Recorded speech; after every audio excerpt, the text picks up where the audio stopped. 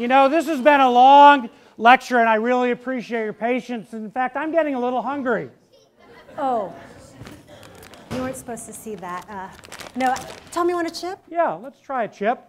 Of course, the reactions when we've been demonstrating at high temperature with flames, we call combustion.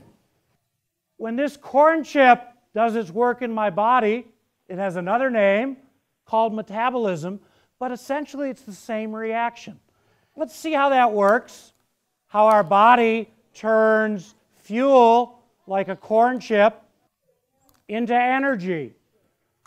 Now, I know when you read the serving size on that package, says eight corn chips, and it might have a few calories from fat.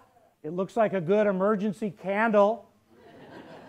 but this is what your body is doing at room temperature using enzymes in metabolism.